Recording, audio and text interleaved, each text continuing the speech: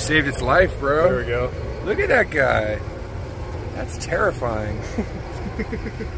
That's like, ah, it's